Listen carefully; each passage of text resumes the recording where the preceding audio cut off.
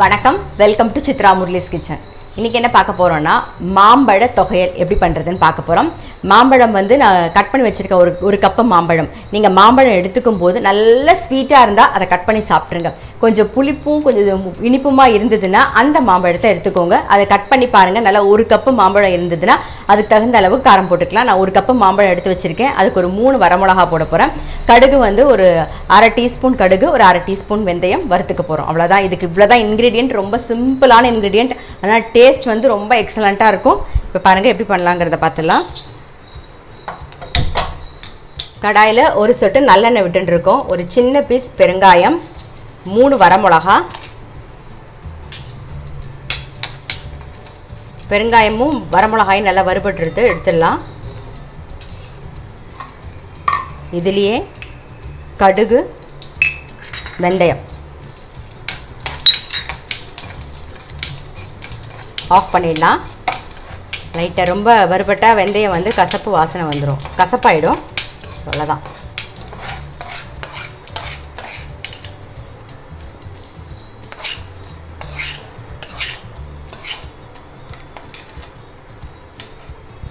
First என்ன பண்ணுவோம்னா வரமிளகா பெருங்காயம் உப்பு. இதை முதல்ல ஒரு ஓட்டு ஓட்டின்னு வரலாம். உப்பு மிளகா பெருங்காயம் அரைச்சாச்சு. இப்போ வந்து கட் பண்ணி வச்சுருக்கிற மாம்பழம் சேர்த்துடலாம்.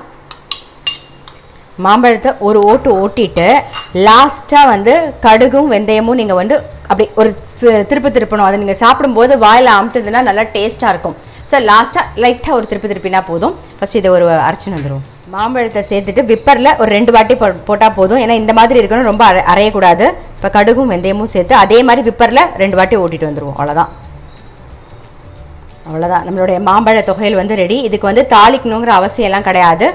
அவ்வளோதான் இது வந்து நல்ல சுட சுட சாதத்தில் நெய்யோ இல்லைன்னா நல்லெண்ணெயோ எது பிடிச்சிருக்கோ அதை விட்டுண்டு இந்த தொகையிலையும் போட்டுண்டு அப்படி பிசைஞ்சு சாப்பிட்டு பாருங்கள் செம்ம டேஸ்ட்டாக இருக்கும். ஏன்னா அந்த மா காரம் இருக்குது அந்த மாம்பழமும் வந்து கொஞ்சம் புளிப்பும் இனிப்புமா இருக்குமா? ஸோ அது எல்லாம் சேர்ந்து நல்ல ரொம்ப டேஸ்ட்டாக இருக்கும். தொட்டுக்கிறதுக்கு வந்து அப்பளம் இல்லை வடாம் பெஸ்ட்டு காம்பினேஷன் அப்படி இல்லைன்னா ஏதாவது ஒரு காய் தொட்டு சாப்பிட்டு பாருங்க ரொம்ப நல்லாயிருக்கும்.